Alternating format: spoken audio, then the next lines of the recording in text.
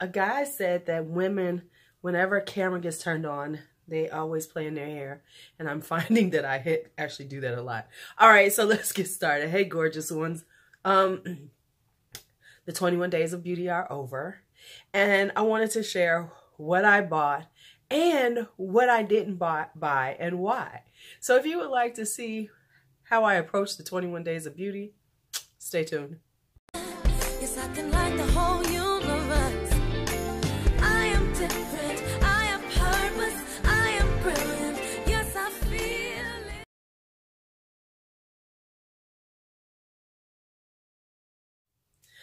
All right, welcome back, welcome back.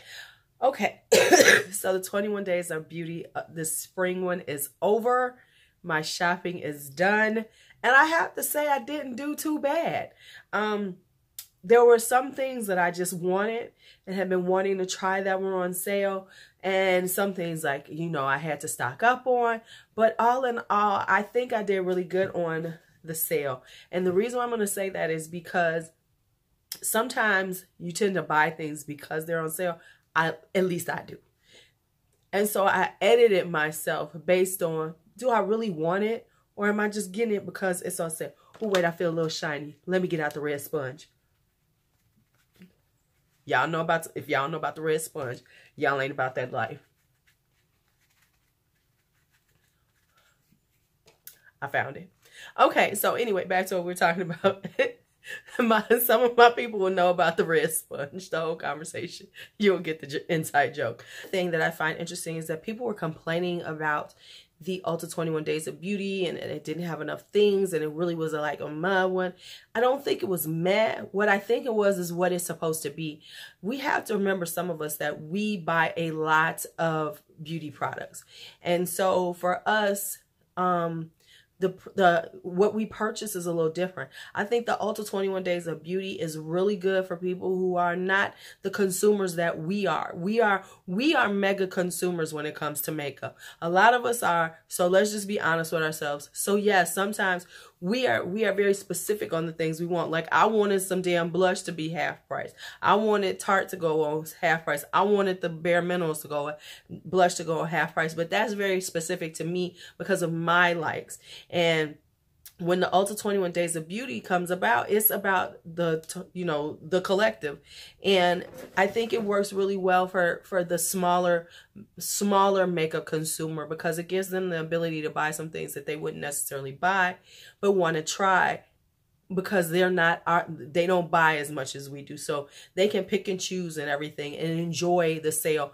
The, the way that we don't enjoy it as much because we are mega consumers. So, you know, us mega consumers, a lot of times what we're looking at is, you know, buying things that we buy, you know, backups of things that we buy a lot of or things like that. So if you thought like it was mad, look at how you your buying habits and maybe it's mad to you like it kind of was to me based on the fact that I got a lot of shit over here.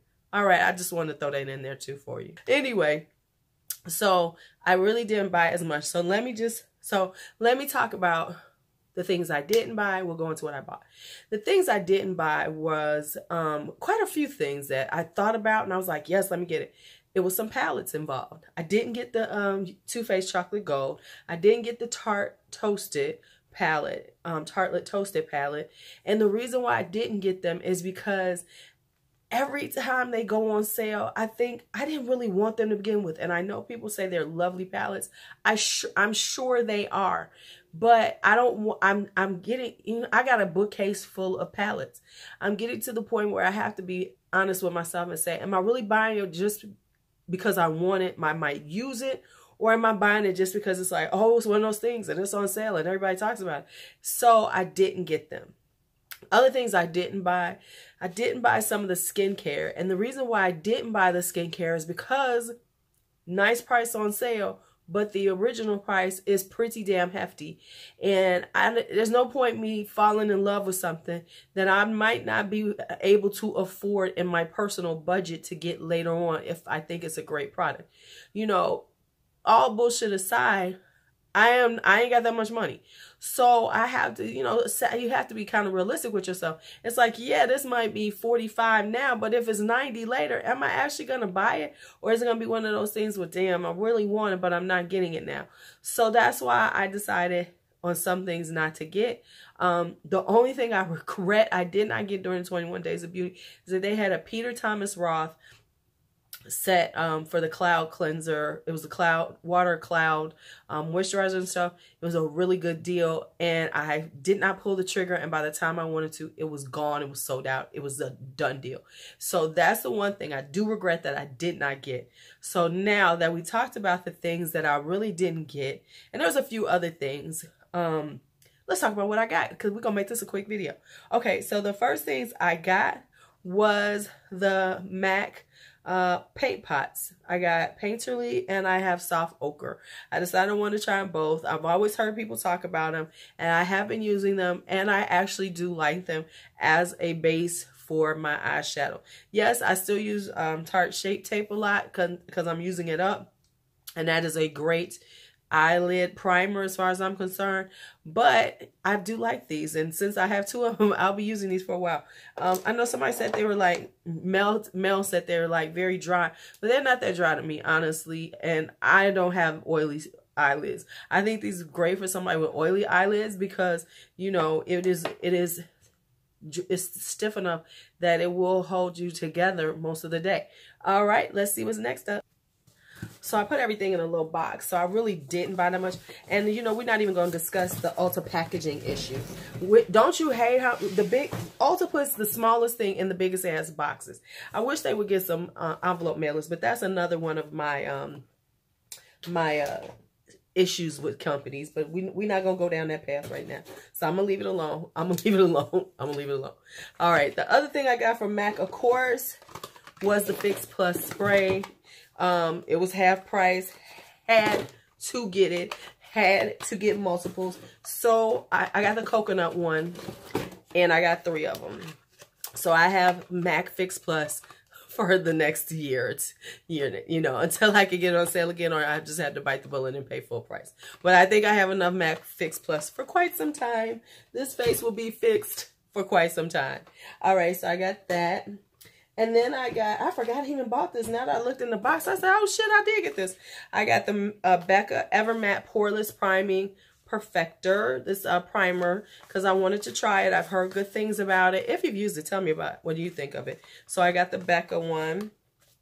Then I got um, the Tarteist Pro Glow Blush Palette.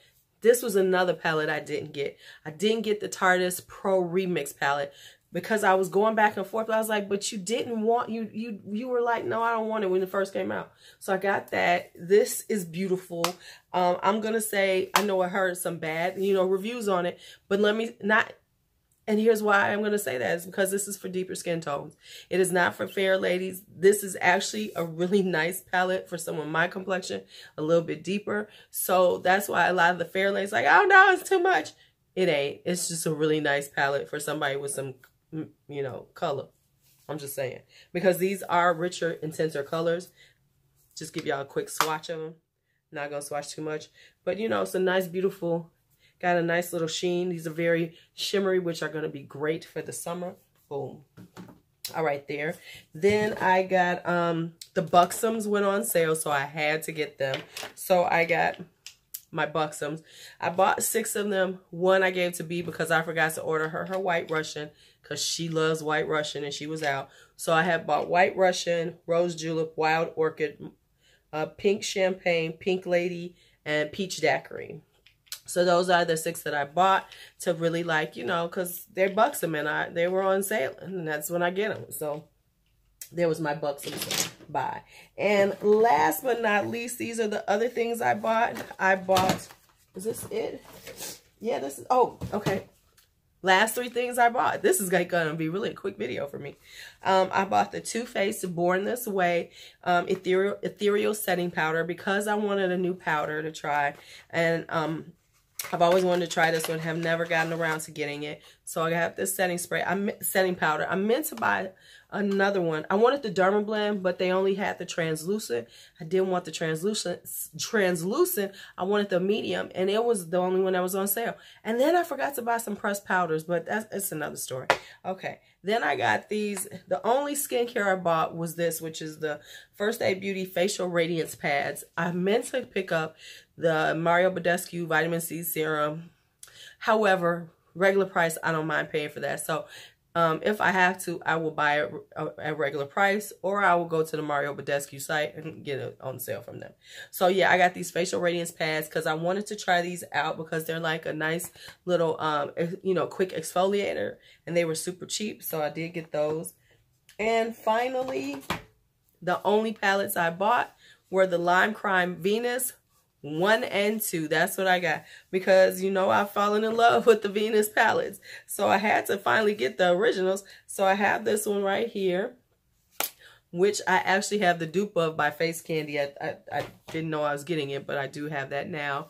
And then I have this, the Venus 2 right here. So this these will be put away because I'm really not going to be wearing those colors. Probably not. Sorry, I'm still, you know, listen, I'm not going to apologize. I'm still congested, y'all. I'm trying to break this cold, but it ain't going nowhere right now. Let's pray that it does. You know, put put up a little solid prayer that Lulu gets her chest together because it's a little rough out here on these streets. All right, so anyway, that is it for my Ulta 21 Days of Beauty haul. That's it. That's all. Um, if you had, let me know what you got on the Ulta, Ulta 21 Days of Beauty. Did you buy a lot? How did you handle it? What did you do? All right, now, it's your Lulu. Be bold, be brave, be fearless, be free. Talk to you later.